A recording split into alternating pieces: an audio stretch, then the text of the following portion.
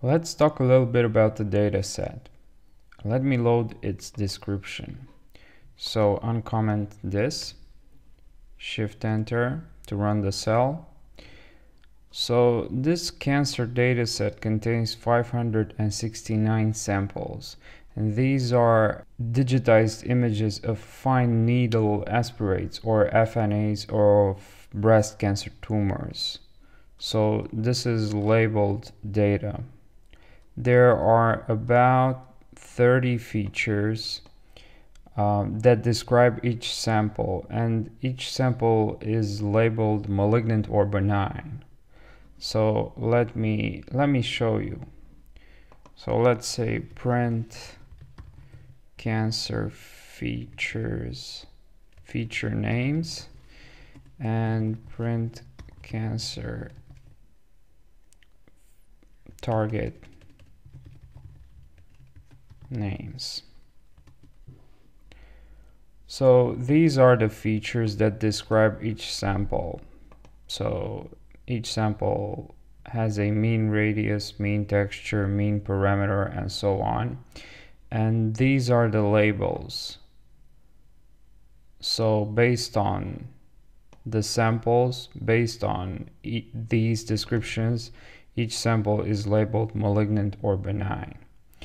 Um, so in machine learning, we feed this data into the algorithm telling it, um, hey algorithm, look, a sample with this mean radius, mean texture, and so on. This is a malignant tumor, or this is a benign tumor, and this is how the algorithm learns.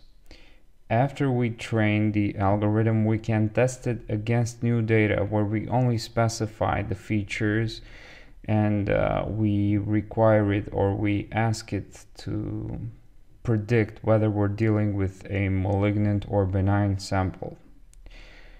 I've told you that this dataset comes preloaded with scikit-learn, meaning that it's already cleaned and pre-processed, ready to be fed into the classifiers or ML algorithms. Let me show you how it looks like. So print or just simply call cancer data. So this is a, um, let's check its type.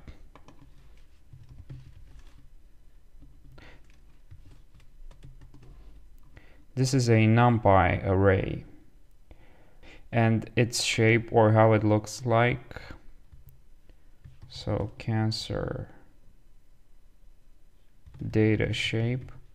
So it's a NumPy array and as we already know 569 rows and 30 columns. So think of it like a table. Now let me show you how the real data looks like.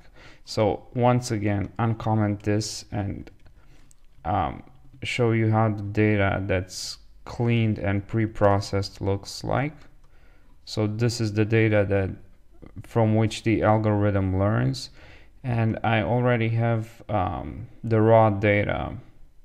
This is this comes in CSV or comma separated value form and this is available on the internet and I also I'm also going to post a link to it in my github so please see the description of this video so each sample has an ID a diagnosis, which is our target. And these are the fe features from column C all the way to column AF. So these are the the features that describe each sample and the the target or the diagnosis and 569 samples ignoring the header so there's a lot of ugly data in here. Data scientists have to clean it and optimize it based on whatever the machine algorithm they use. In this case, we'd have to convert everything uh, to, to NumPy arrays. But in this series, we're going to work with the cleaned data and um, we're going to basically focus on machine learning algorithms and how to do machine learning. And maybe I'll do another series on data processing in the future. Anyway, in the next video, we're gonna use, train, and test the first algorithm on this data, which is KNN or um, K nearest neighbors. So if you enjoyed this video, please give me a thumbs up and subscribe. Thank you for watching and I'll see you in the next one.